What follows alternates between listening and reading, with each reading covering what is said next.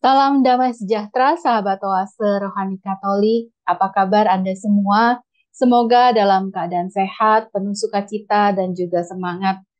Berjumpa kembali dengan saya Patricia Elsa pada kesempatan hari ini, hari Minggu biasa yang ke-32.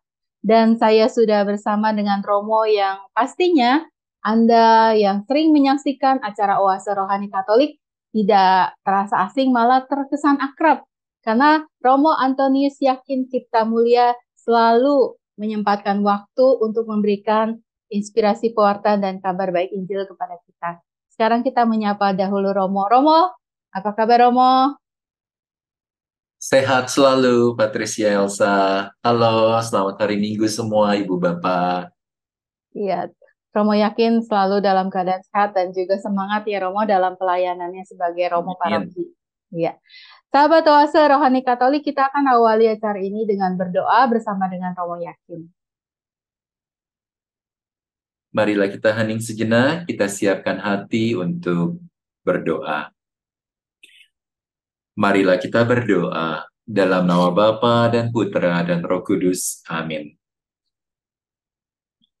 Allah Bapa yang Maha Bijaksana, anugerahkanlah kebijaksanaan kepada kami, agar kami mampu memahami kehendak-Mu dan melaksanakannya dalam hidup kami sehari-hari. Khususnya pada hari ini kami ingin berdoa agar kami pun kau mampukan untuk meneladan Kristus Putramu sendiri, yang berani mengatakan kebenaran dalam hidupnya sehari-hari. Ini semua kami mohon dengan pengantaran Kristus Putramu Tuhan kami, yang bersama dengan dikau dalam persatuan roh kudus, hidup dan berkuasa, Allah sepanjang segala masa. Amin. Amin. Dalam nama Bapa dan Putra dan Roh Kudus. Amin. Amin. Sahabat oase rohani Katolik pada hari Minggu biasa ke-32 sebagai antifon pembuka, biarlah doaku datang ke hadapanmu, sendengkanlah telingamu kepada teriaku. Sahabat oase rohani Katolik, pada bacaan hari ini, bacaan pertama dari Kitab Kebijaksanaan, bab 6, ayat 12 sampai dengan 17. Kebijaksanaan itu bersinar dan tak dapat layu, mudah dipandang oleh kasih kepadanya, dan ditemukan oleh mereka yang mencarinya. Ia mendahului memperkenalkan diri kepada orang yang menginginkannya Siapa saja yang pagi-pagi bangun demi kebijaksanaan, tak perlu bersusah payah, sebab kebijaksanaan itu ditemukannya duduk di dekat pintu. Merenungkan kebijaksanaan merupakan pengertian sempurna, dan siapa yang berjaga karena kebijaksanaan segera akan bebas dari kesusahan. Sebab kebijaksanaan sendiri berkeliling mencari orang yang patut baginya, dan dengan rela memperlihatkan diri kepada mereka yang mencarinya. Kebijaksanaan dijumpai pada tiap-tiap pemikiran mereka. Sebab permulaan kebijaksanaan ialah keinginan sejati, akan didikan, dan mencari didikan adalah kasih kepadanya. Demikianlah sabda Tuhan. Syukur kepada Allah. Mari kita tanggapi dengan Mazmur tanggapan. Jiwaku haus akan dikau, ya Tuhan Allahku. Jiwaku haus akan dikau, ya Tuhan Allahku. Ya Allah, Engkaulah Allahku, aku mencari Engkau. Jiwaku haus akan dikau, tubuhku rindu kepadamu seperti tanah yang kering dan tandus yang tiada berair. Jiwaku haus akan dikau ya Tuhan Allahku. Demikianlah aku rindu memandangmu di tempat kudus, sambil melihat kekuatan dan kemuliaanmu. Sebab kasih setiamu lebih baik daripada hidup, bibirku akan memegahkan dikau. Jiwaku haus akan dikau ya Tuhan Allahku. Aku mau memuji Engkau seumur hidupku dan menaikkan tanganku demi namamu. Seperti dijamu lemak dan sumsum jiwaku dikenyangkan, bibirku bersorak-sorai, mulutku memuji-muji. Jiwaku haus akan Dikau, ya Tuhan Allahku. Di tempat tidurku, aku ingat kepadamu. Sepanjang kawal malam, aku merenungkan di kau. Sungguh, engkau telah menjadi pertolonganku, dan dalam naungan sayapmu, aku bersorak-sorai. Jiwaku haus akan Dikau, ya Tuhan Allahku. Sahabat oase rohani Katolik, bacaan kedua dari surat pertama Rasul Paulus kepada jemaat di Tesalonika. Bab 3 ayat 13 sampai dengan 14. Saudara-saudara, kami ingin agar kamu mengetahui tentang orang-orang yang sudah meninggal, supaya kamu jangan berduka cita, seperti orang-orang lain yang tidak mempunyai pengharapan. Karena kalau kita percaya bahwa Yesus telah mati dan telah bangkit, maka kita percaya juga bahwa mereka yang telah meninggal dalam Yesus akan dikumpulkan Allah bersama dengan Yesus. Demikianlah sabda Tuhan. Syukur kepada Allah. Marilah kita tanggapi bacaan-bacaan tadi dengan bait pengantar Injil dan juga mendengarkan Injil suci menurut Matius bab 25 ayat 1 sampai dengan 13. Haleluya, haleluya, haleluya. Haleluya, haleluya, Haleluya. Berjagalah dan bersiap sedialah, sebab kamu tidak tahu bila mana putra manusia datang. Haleluya, haleluya, haleluya. Tuhan bersamamu dan bersama rohmu. Inilah Injil Yesus Kristus menurut Matius. Dimuliakanlah Tuhan. Diambil dari Injil Matius bab 25 ayat 1 sampai dengan 13. Pada suatu hari, Yesus mengucapkan perumpamaan ini kepada murid-muridnya. Hal kerajaan surga itu seumpama sepuluh gadis ia mengambil pelitanya dan pergi menyongsong mempelai laki-laki. Lima di antaranya bodoh dan lima bijaksana. Yang bodoh itu membawa pelita, tetapi tidak membawa minyak. Sedangkan yang bijaksana, selain pelita, juga membawa minyak dalam buli-bulinya. Tetapi karena mempelai itu lama tidak datang-datang, mengantuklah mereka semua, lalu tertidur. Tengah malam, terdengarlah suara berseru. Mempelai datang, song-songlah dia. Gadis-gadis itu pun bangun semuanya, lalu membereskan pelita mereka. Gadis-gadis yang bodoh berkata kepada yang bijaksana, Berilah kami sedikit dari minyakmu, sebab pelita kami mau padam. Tetapi yang bijaksana menjawab, Tidak, Jangan-jangan nanti tidak cukup untuk kami dan untuk kamu. Lebih baik kamu pergi membelinya pada penjual minyak. Tetapi sementara mereka pergi membelinya, datanglah mempelai, dan mereka yang telah siap sedia masuk bersama dia ke dalam per ruang perjamuan nikah. Lalu pintu ditutup. Kemudian datanglah juga gadis-gadis yang lain itu dan berkata, Tuan, Tuan, bukakanlah kami pintu.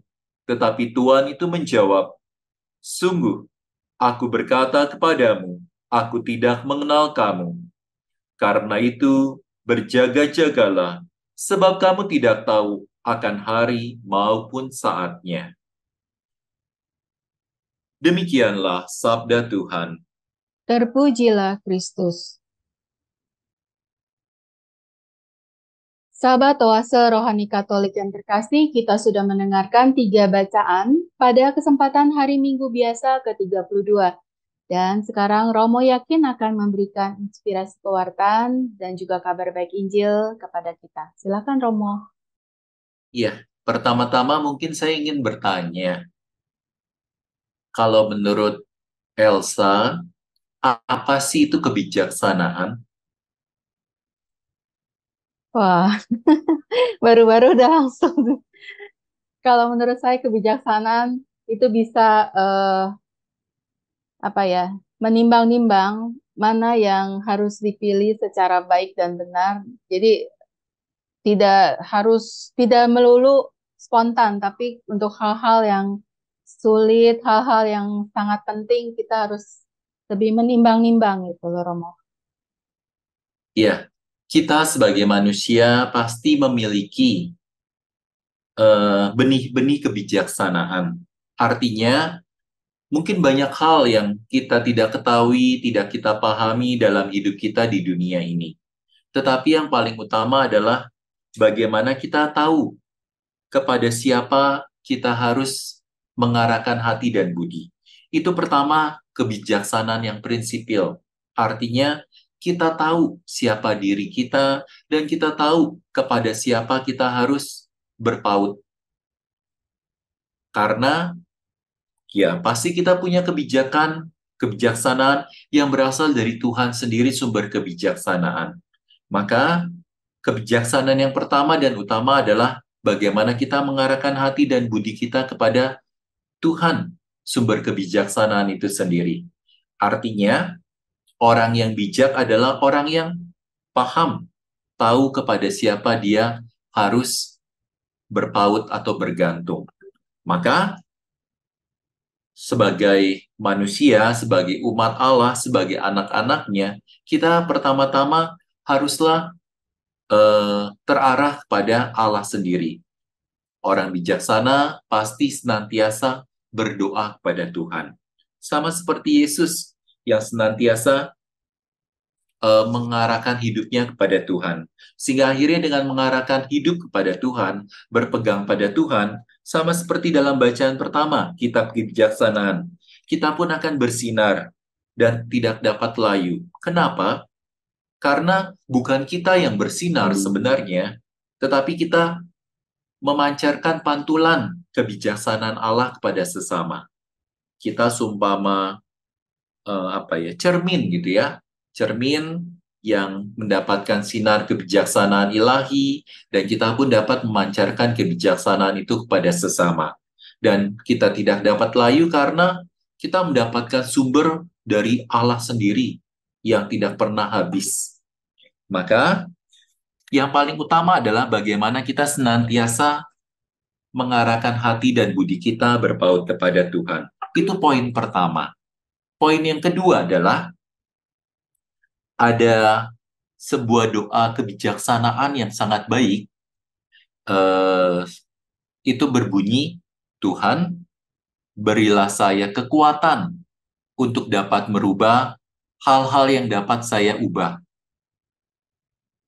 Kepasrahan untuk menerima hal-hal yang tidak dapat saya ubah. Dan kebijaksanaan untuk membedakan keduanya. Artinya, kebijaksanaan Poin kedua adalah bagaimana kita menyadari kekuatan diri kita, kemampuan diri kita, sehingga akhirnya kita tidak uh, apa membabi buta, memaksakan diri untuk melakukan segala sesuatu sesuai dengan keinginan kita. Yang namanya kebijaksanaan juga adalah keberanian kita untuk menyadari keterbatasan diri kita, kerapuhan diri kita sebagai manusia. Sehingga akhirnya kita berani mengatakan, ya ternyata ini bukan kemampuan saya. Ternyata ini bukan uh, kekuatan saya. Saya tidak bisa uh, menjalani atau mengambil semua hal untuk saya saja. Di sinilah poin kedua, bagaimana kebijaksanaan adalah memampukan kita untuk sadar diri. Tidak semuanya harus dikuasai oleh diri kita sendiri. Itulah sebabnya dalam Kuskupan Agung Jakarta, kita diajak untuk bersolider dan bersubsidiaritas. Artinya berani memberikan porsi-porsi kepada sesama kita yang memang mereka memiliki kekuatan di hal tersebut. Gak semuanya sebagai orang tua, misalkan kita bisa meng, apa, menyelesaikan segala perkara. Atau sebagai seorang imam, kita juga nggak bisa menyelesaikan semua masalah di paroki. Kita harus berbagi. Seperti itu. Itu dua poin kebijaksanaan yang ingin saya bagikan pertama-tama di uh, renungan pertama kita. Seperti itu, Elsa. Iya, baik Romo, terima kasih. Tadi Romo menyinggung juga tentang orang tua. Uh, saya kan juga salah contoh lah saya sebagai orang tua Romo. Terkadang kita sudah merasa kita cukup bijaksana uh, terhadap anak, tapi ternyata anak sendiri merasa mama tidak adil, tidak tidak wise, tidak bijaksana gitu. Bagaimana kita bisa bersikap kepada anak-anak? Mungkin anak-anak yang sekarang sudah berangkat beranjak remaja Romo, itu kan biasanya mereka tuh cenderung lebih mendengarkan teman-teman daripada ke orang tuanya. Apakah Romo ada input atau masukan Romo? Ya, menghadapi anak-anak sekarang, kita tidak lagi bisa uh, memberikan apa ya doktrin satu arah bahwa kamu harus seperti ini, bahwa kamu uh, nggak boleh seperti itu. Justru yang harus kita lakukan adalah bagaimana kita menggali awareness mereka, menggali rasa empati mereka. Maka yang perlu kita bisa yang bisa kita lakukan adalah kita bertanya dulu kepada mereka. Kenapa kok kamu merasa nggak bijak? Kira-kira mama atau ay, papa atau orang tua kurang bijaknya di mana? Menurut kamu yang bijak itu seperti apa? Sehingga akhirnya anak pun mengungkapkan diberikan kesempatan untuk mengungkapkan apa sih idenya mereka, apa sih harapan mereka. Lalu setelah itu kita tanya, nah kira-kira kalau kamu menjadi seorang mama atau seorang papa atau orang tua, kira-kira uh, kamu bisa berlaku bijaknya seperti apa? Sehingga akhirnya kita bukan hanya sekedar memaksakan apa yang kita pikirkan, tetapi kita memberikan porsi kepada anak kita untuk juga mengungkapkan apa sih maunya mereka, apa sih pemikiran mereka tentang kebijaksanaan. Kalau mereka mungkin uh, sifatnya lebih egois, maunya yang namanya bijaksana yang penting buat saya, yang penting buat uh, apa kepentingan saya. Nanti kita mulai gali rasa empatinya. Oh, kalau kamu merasa bahwa kamu yang lebih penting, kalau sesama kamu atau teman kamu kira-kira setuju nggak dengan pendapat kamu? Kalau misalkan eh, kamu diperlakukan seperti itu, apakah kamu setuju atau enggak? Kalau kamu nggak setuju, ya teman-teman kamu juga pasti nggak setuju diperlakukan eh, seperti itu oleh kamu. Artinya kita mulai membangun rasa empati mereka bukan hanya sekedar menurut ajaran agama atau menurut Yesus harus seperti ini, ini, ini, ini. Enggak. Anak sekarang perlu kita gali apa sih sebenarnya harapan dan keinginan mereka. Seperti itu. Ya, baik Romo. Ada lagi yang bisa Romo sampaikan? Mungkin bisa juga menyinggung bacaan kedua Romo atau bacaan pertama yang ingin masih ingin Romo sampaikan. Silakan Romo. Ya, akhirnya kapan sih kita bijak bisa melakukan kebijaksanaan? Kebijaksanaan itu bukan sesuatu yang bisa dipersiapkan uh, bahwa nanti saya harus bijaksana. Setelah itu lepas dari kegiatan tertentu, saya bisa melepaskan kebijaksanaan saya. Artinya itu adalah sesuatu proses yang terus-menerus harus kita perjuangkan. Artinya kita harus terus-menerus berjaga-jaga berjaga-jaga bukan berarti dalam suasana tegang, saya harus siap terus seperti itu, tetapi bagaimana kebijaksanaan itu menjadi bagian dari hidup the way of life. Bagaimana uh, saya bukan hanya sekedar um, apa mengetahui banyak hal uh, dari pengetahuan dari buku-buku yang saya baca, tetapi bagaimana buku-buku tersebut, pengetahuan tersebut akhirnya saya refleksikan, saya integrasikan dengan kehidupan saya sekarang ini. Sehingga akhirnya kita bukan hanya sekedar tahu dalam tataran kognitif atau pengetahuan belaka, tetapi benar-benar akhirnya itu menjadi bagian dari sifat kita, tingkah laku kita, perkataan kita sehari-hari. Di situlah poin berjaga-jaga. Sehingga akhirnya dengan kondisi apa pun, itu sudah menjadi bagian hidup saya atau bisa dikatakan sebagai habitus atau kebiasaan saya. Sehingga akhirnya entah saya diperhatikan, entah atau dalam situasi tertentu, ya sudah, ini menjadi uh, mengalir begitu saja, uh, menjadi sesuatu yang bukan yang menegangkan lagi, tapi sesuatu yang ya sudah uh, bagian dari hidup, sesuatu yang menggembirakan malah seperti itu.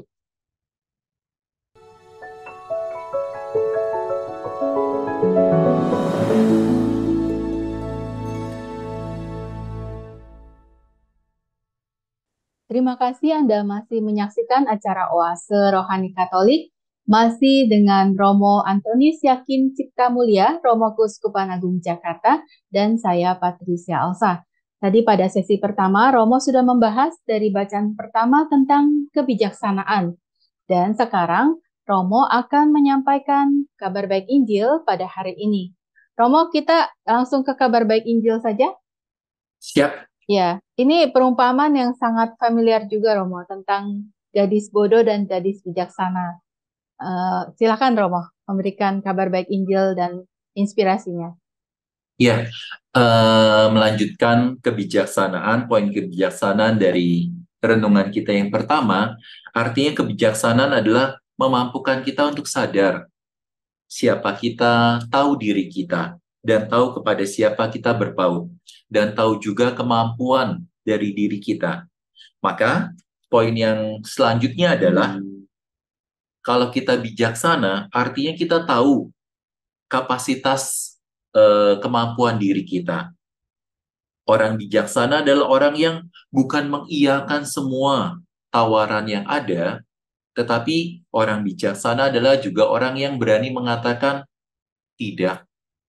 Sama seperti lima gadis bijaksana yang pada saat dimintai bantuan, bukan masalah baik atau buruk, benar atau salah, tetapi dia melihat apakah saya mampu tidak membantu. Kalau saya tidak mampu membantu, ya lebih baik saya mengatakan tidak. Daripada akhirnya, seperti bacaan Injil dikatakan, daripada tidak cukup untuk kamu dan saya, lebih baik kamu mencari minyak. Buli-buli yang buli-buli minyak yang lain. Maka yang namanya bijaksana adalah jangan sampai kita membantu seseorang, mengiyakan semua permintaan seseorang, melebihi kapasitas kita. Kadang saking apa ya semangatnya dalam pelayanan gitu ya, uh, saking saking itu bahasa apa ya? Iya terlalu gitu, terlalu bersemangat dalam pelayanan sampai mengiyakan semua tawaran, sampai akhirnya merepotkan diri kita sendiri. Tidak jarang aktivis-aktivis itu malah eh, apa ya terlalu semangat melayani gereja sampai lupa terkadang untuk melayani keluarga sendiri, melayani kebutuhan pribadinya sendiri. Seperti itu, Elsa. Iya, saya jadi teringat saya punya kenalan seorang teman juga yang suaminya sempat bicara sama saya, ini coba dong tolongi, uh, tolong bilangin sama dia. Uh, saya lebih sering ketemu anak-anak dibanding dia di rumah karena aktivitas istri saya tuh begitu sibuk sekali katanya. Jadi terkadang lucu juga gitu. Kalau kita melihat seorang istri yang saleh, yang sangat beriman, sangat uh, dekat dengan Tuhan, tapi juga ternyata suami juga ada komplain gitu loh. Kalau uh, kehilangan waktu kebersamaan. Nah ini kalau punya kisah seperti ini Romo, bagaimana uh, saya bisa bilang ke suaminya dan juga bisa bilang ke teman saya itu menas uh, untuk memberikan masukan lah gitu. Ya, maka kedua belah pihak harus bijaksana, harus tahu uh, mana prioritas hidupnya, mana yang menjadi kemampuan kapasitas dirinya. Artinya, uh, ya istrinya mungkin bisa mengatakan, syukur saya aktifnya di gereja, nggak aktif di tempat lain gitu, nggak di tempat dugem. Terus, tetapi suami juga pasti mengatakan, ya waktu untuk keluarga nggak ada. Maka yang paling bijak adalah bagaimana mereka berkomunikasi bersama, mencari titik temu. Titik temunya seperti apa yang terbaik untuk keluarga itu, yang tahu adalah mereka berdua dan anak-anak. Maka kebijaksanaan adalah bagaimana mereka juga duduk bersama, uh, tidak memandang siapa yang lebih tinggi, siapa yang lebih rendah. Saya ini kepala keluarga, kamu kan istri harus nurut. Atau saya kan ibu rumah tangga yang menguasai rumah. Kamu harus taat. Enggak. Atau kepada orang tua, kepada anak, atau anak kepada orang tua. Tapi belajar hmm. juga mendengarkan. Mendengarkan, uh, dan yang paling penting adalah mendengarkan bersama dengan Tuhan yaitu doa bersama. Tuhan, terima kasih sudah diberikan istri yang baik, istri yang semangat dalam pelayanan. Tapi Tuhan tolong kalau bisa jangan terlalu aktif di gereja, nanti nggak ada yang masak di rumah, lebih sering ketemu pembantu dibandingkan istri. Nanti kalau saya naksir pembantu repot Tuhan. Kalau itu diungkapkan bukan dalam suasana doa, mungkin saja yang ada cekcok, berantem, ribut. Tetapi kalau dilakukan dalam suasana doa bersama, istri dipaksa diam. Diam, pada saat itulah terjadi proses internalisasi apa benar ya? Saya terlalu aktif di gereja. Baiknya seperti apa ya? Atau istri juga bisa mengatakan, Tuhan terima kasih sudah diberikan suami yang setia, yang taat, yang uh, apa uh, memperbolehkan saya untuk aktif di gereja. Tapi Tuhan tolong kalau bisa uh, kalau pulang ke rumah jangan kayak bos, maunya dilayani terus. Kita bagi tugas Tuhan, uh, ajar itu uh, suami biar bisa berbagi tugas, mendampingi anak belajar, bukan melulu semuanya harus saya semua, seperti itu. Atau anak juga bisa mengungkapkan Tuhan terima kasih sudah diberikan orang tua yang bisa memberikan teladan, bisa melayani gereja, bisa juga uh, melayani keluarga. Tapi Tuhan tolong kalau bisa punya waktu paling enggak hari Minggu dari jam berapa sampai jam berapa nemenin saya. Pada saat itu terjadi komunikasi bersama, apalagi komunikasi bersama dengan Tuhan, karena sekali lagi kebijaksanaan itu kan tahu siapa diri kita dan bagaimana kita menggantungkan diri. Pada saat itulah keluarga juga bisa mengalami sukacita kebijaksanaan bersama-sama. Artinya menemukan solusi terbaik berdasarkan komunikasi bersama dengan Tuhan. Seperti itu Elsa. Iya Romo. Lalu kalau kita baca lebih lanjut lagi pada bacaan Injil ini di ayat terakhir di sana dikatakan e, karena itu berjaga-jagalah sebab kamu tidak tahu hari mana hari maupun saatnya. Nah, ini perkataan dari Yesus ya Romo ya? Ya, benar. Hmm. Bisakah Romo lebih menjelaskan tentang ayat ini Romo? Maka yang paling penting adalah berjaga-jaga tadi bukan dengan apa ya dengan ketegangan dengan uh, saya harus terus uh, apa uh, apa memperhatikan segala sesuatu tapi jadikanlah kebijaksanaan itu menjadi cara hidup kita. Cara hidup kita artinya kita tahu kepada siapa kita menggantungkan diri kita memiliki relasi yang baik dengan Tuhan dalam doa-doa kita dan kita juga tahu kapasitas diri kita, tidak mengiyakan semua tawaran yang ada, tetapi juga tahu kemampuan diri kita, oh ya, saya nggak mampu untuk hal ini, jangan deh. Seperti itu. Sehingga akhirnya proses berjaga-jaga pun bukan proses yang uh, apa melelahkan, tetapi proses yang menyenangkan. E, bedanya apa? Bedanya itu kalau misalkan e, proses itu menjadi proses yang menegangkan, mungkin saja e, akhirnya kita tidak menikmati e, proses berjaga-jaga itu. Tapi kalau proses yang menyenangkan, kita uh, apa tetap memberikan perhatian, tetapi kita tidak uh, kita tetap bisa uh, apa belajar terhadap segala sesuatu yang ada. Ada pengalaman menarik uh, beberapa frater itu uh, diminta untuk uh, menjemput seorang romo di bandara. Romonya seperti apa? Hanya dikasih lihat fotonya dan dikasih tahu namanya. Maka uh, dikasih tahu promo itu kemungkinan datang jam segini di terminal segini dari negara apa gitu ya. Terus uh, akhirnya frater-frater itu ada sekitar 10 orang datang ke bandara kelihatan macam-macam uh, kepribadiannya. Ada yang terus-menerus langsung nunggu di depan pintu, depan pintu terminal, ngeliatin satu-satu gitu ya. Apakah terminalnya tepat? Ternyata bu, nggak juga salah, salah terminal. Terus ada juga yang ngelihat kira-kira ini tampangnya Romo bukan nih? Kayaknya tampangnya Romo ditanyain. Ini Romo ini bukan, bukan. Romo ini bukan, bukan. Terus ada yang eh, saking malesnya akhirnya sambil baca buku. Ada yang sambil main game. Ada yang juga eh, dia bisa menikmati momen yang ada. Jadi setiap orang yang lewat dia perhatikan, kadang dia senyum, dia dia sungguh apa uh, menghayati momen-momen yang ada. Dan akhirnya yang menemukan adalah frater yang tadi nggak terlalu tegang, nggak terlalu santai, tapi dia sungguh-sungguh bisa menikmati setiap peristiwa yang ada.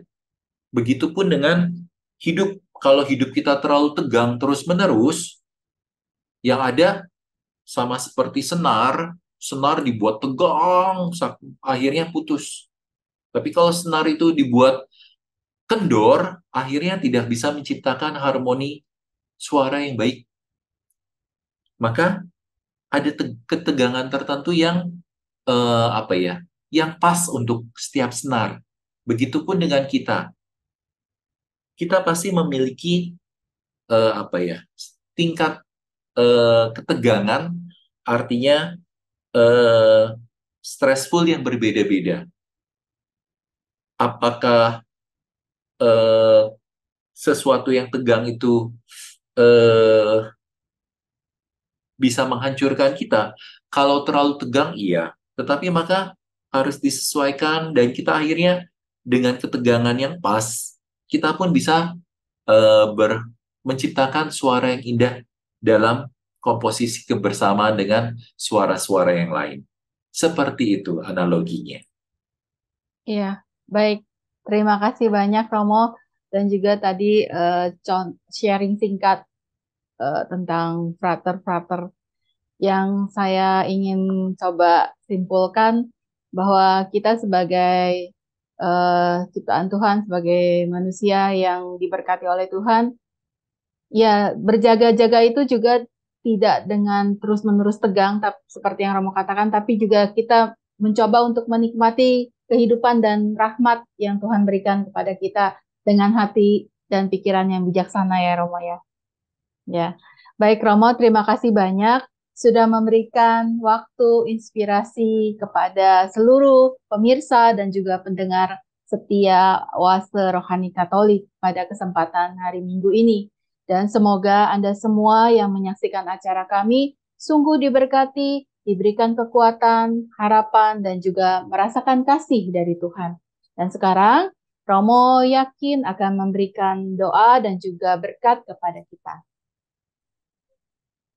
Terima kasih Elsa. Marilah Ibu Bapak kita siapkan hati untuk berdoa.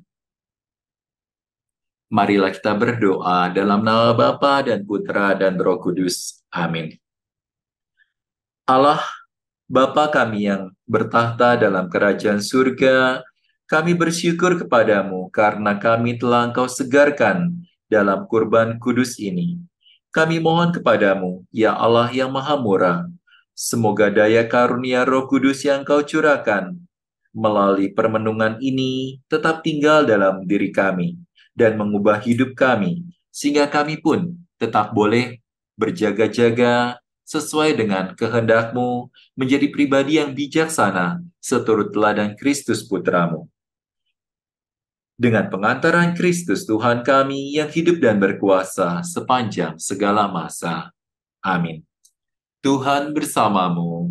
Dan bersama rohmu rahmat berkat dan penyertaan Allah yang Maha Kasih senantiasa tercurah dalam hidup kita, dalam diri mereka yang kita cintai, keluarga kita, orang-orang yang kita doakan dan kita layani. Bapa dan Putra dan Roh Kudus. Amin. Amin. Sahabat Oase Rohani Katolik, saya Patricia Alsa bersama dengan Romo Antonius Yakin Cipta Mulia Pamit undur diri, kita akan berjumpa kembali di kesempatan lain. Tetap jaga kesehatan dan semangat. Thank you.